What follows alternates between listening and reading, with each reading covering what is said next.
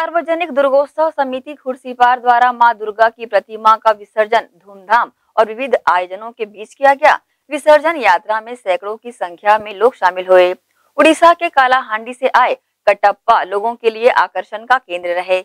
पिछले चौदह वर्षों से गौतम नगर खुर्सी पार में नवरात्र पर माँ दुर्गा की प्रतिमा स्थापित कर पूरे विधि विधान और धार्मिक आयोजनों के बीच पूजा अर्चना की जाती रही है।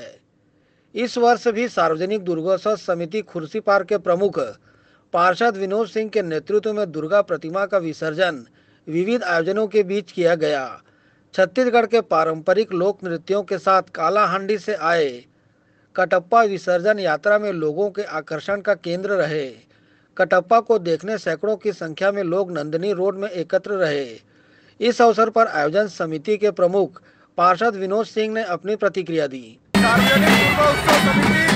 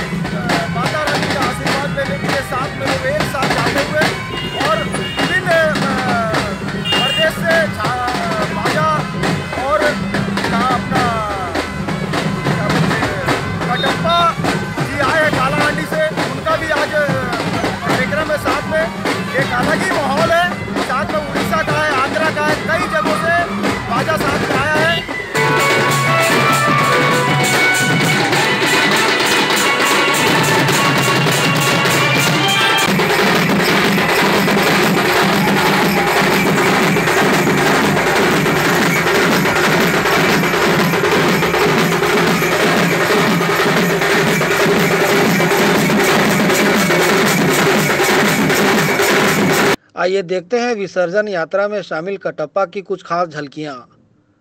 ग्रैंड एशियन न्यूज़ के लिए संजय दुबे।